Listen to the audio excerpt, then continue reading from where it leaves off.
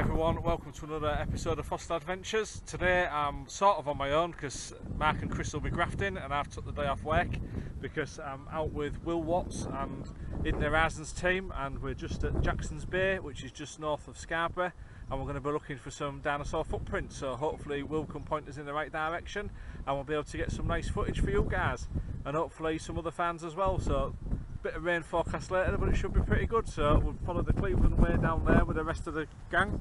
We can see just walking off in the distance. And we'll be down onto this bay here and we'll be looking for dinosaur footprints. Hopefully there's the famous Jackson's footprint way which is about 13 different um, footprints long so that should be pretty good. So let's just crack on and see what we can get so it's a bit windy, hope you can hear me okay. So we've travelled down from the headland, there's Scarborough there in the south, and we're down in the bay now. So this is the remains of Riverbed. The sandstone there is Riverbed. The group's just making its way along there with Will. Will's just been explaining how fossil footprints are formed, the different types of footprints we're going to find, and also what we can learn from footprints, so we can learn the weight of dinosaurs, its height because of its stride, what type of material it ate, etc. etc. It's a bit cloudy there, but it's beautiful, yeah. And there's only another couple of people here, so we're heading that way, which is north, and hopefully we'll soon get some footprints to show you guys.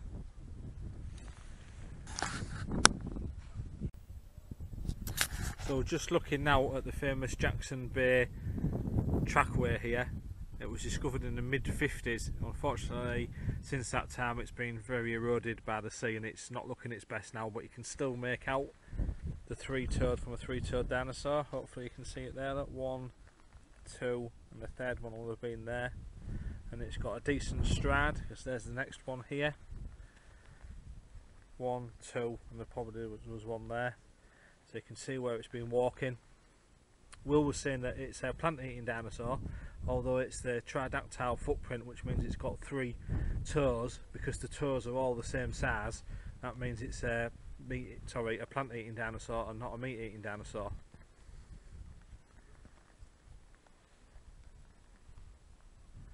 As you can see that's a bit better one there. So its heel would have been where it's wet out there. So there's its toes one two three and there's the back of its heel. So you can see size comparison to my foot how big the the dinosaur was. And obviously it's moving north now under here. There's some more.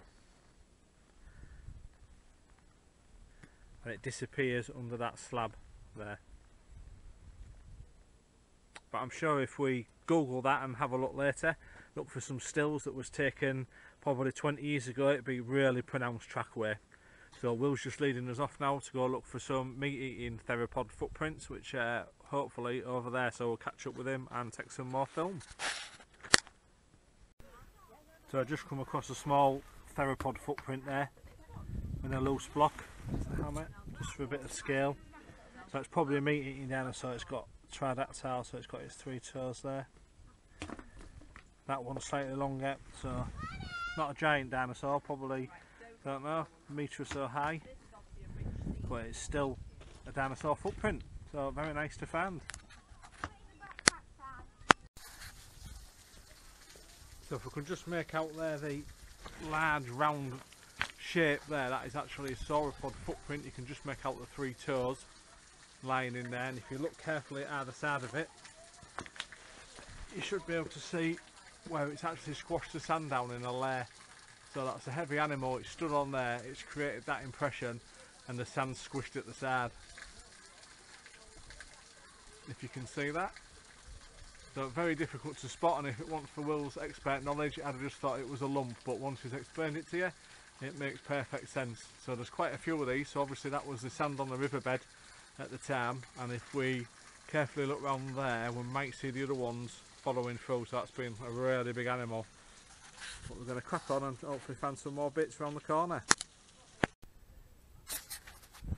So still searching for footprints uh, not too many but we found some nice fossil wood in there. Very degraded but you can see there's plenty in that block, there's a piece there. It's obviously carbonised, so it must have been part of uh, fossil fire or something like that on the banks of the river. And then the silts come over it and the sand, and it's been fossilised over millions of years. So Will's just leading us off into the distance, cracking on there, so hopefully he'll find some other ones for us. I'm sure they're here, it'd be nice to find one on a small block to add to the collection, but I think I'll be very lucky.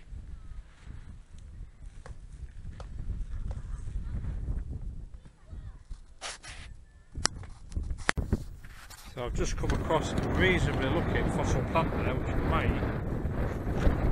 warrant a bit better look at if you can see that. There you go.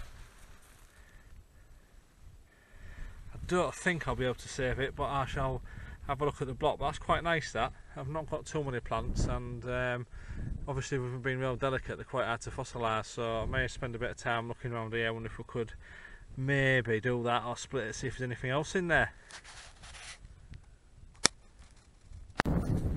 So as you can see I've just harvested that plant, I'm quite chuffed with that.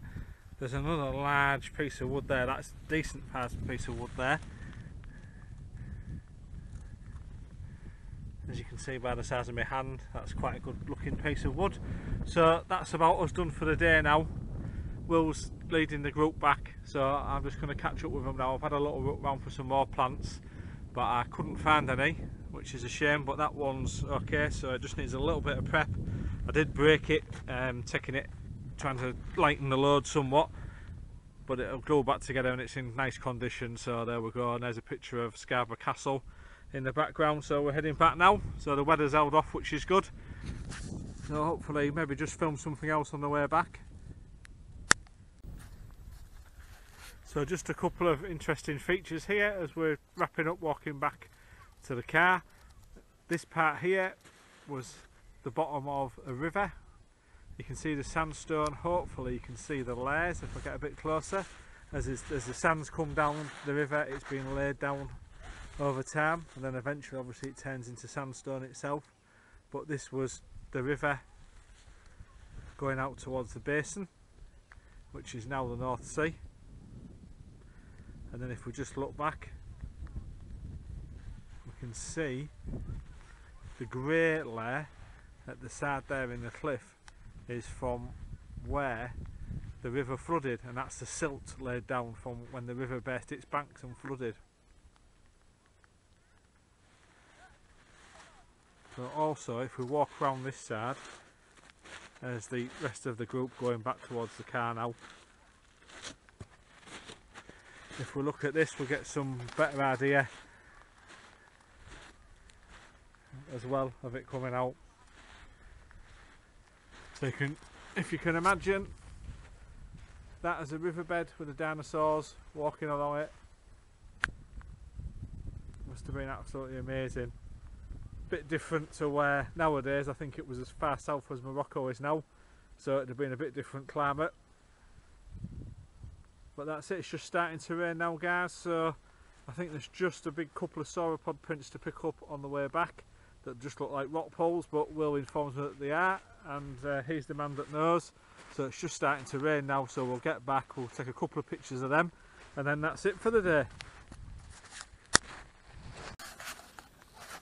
So just the last bit of film now guys, so we've got here, it looks like a rock pole to you or me, but I've been reliably informed by Will that it's the rear leg print, well footprint of a sauropod, so that's been a really big animal, as you can see. I mean that's a huge print.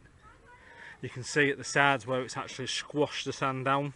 And obviously now what's turned to stone that's not since fossilisation that's when it's been sand and it's squashed it down and just in front of it as well. There's another footprint there. Again and then there is some more over here. They are extremely difficult to spot so I think if anyone wanted to come and look for footprints I think if you want to give Will a bell, he's on Facebook and the internet on Hidden Horizons. He'll be more than happy to uh, bring you out on a trip. Had a really good day, really enjoyed it. Weather's held off. Found a nice piece of plant, so that's good. So there we go, new experience for me. I've learnt a lot off Will, so thank you very much. And that's it, so hopefully we'll see you next time. and that'll be in September and hopefully Staithes or Ravenscar so keep tuned and thanks for watching guys